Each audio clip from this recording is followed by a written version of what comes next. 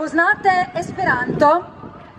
To je jezik, ki omogoča sporazumevanje med ljudmi iz različnih delov sveta, saj ni vezan na nobeno državo ali narod.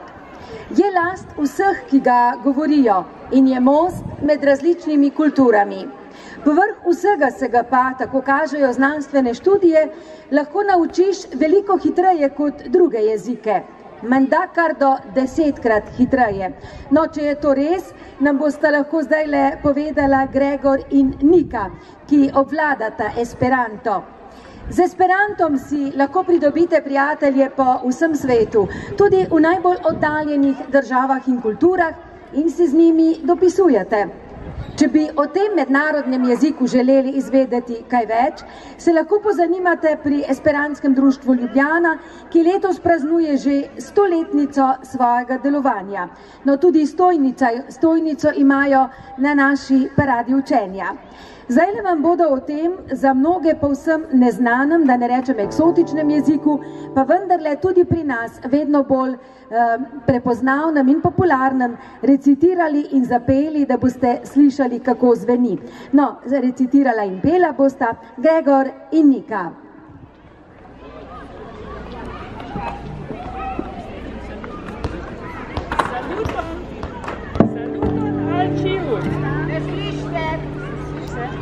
Saluton, saluton al ciui.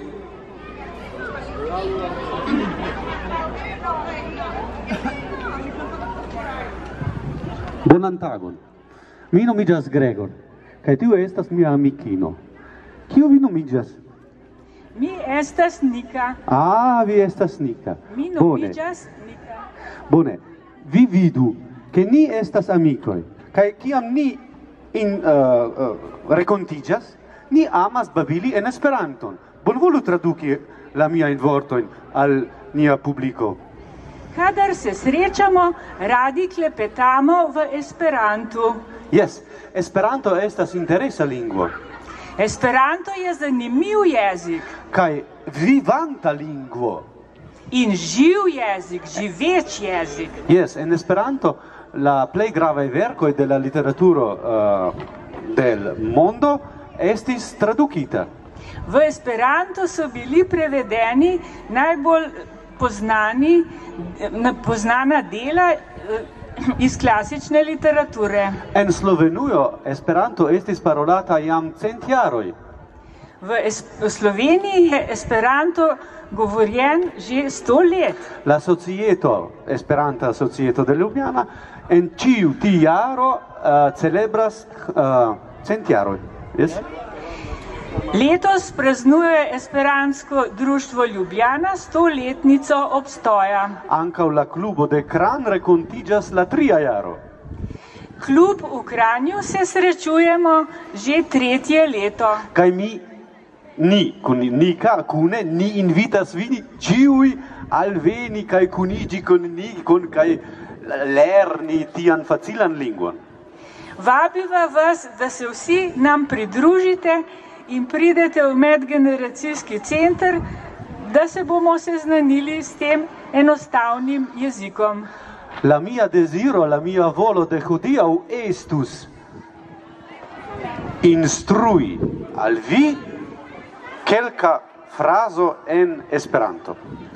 Moj namen je, rekel Gregor, je, da bi vas naučila nekaj stavkov v Esperantu. Estas amuza frazo.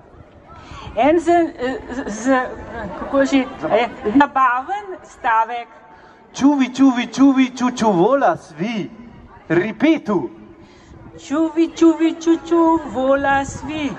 Čuvi, čuvi, čuvi, čuču volas vi. Čuvi, čuvi, čuvi, čuču, vola svi. Ali hočete, ali želite? Jes, ĉu vi volas vi signifas ali vi hočete. Ĉu vi volas danci? Ali želite plesati? Danci. La plej grandparta de vi komprenos la parolon danci. Danci razumete besedo, ne? To je plesati. Bone, ni komencu kanti. Pa začnimo peti.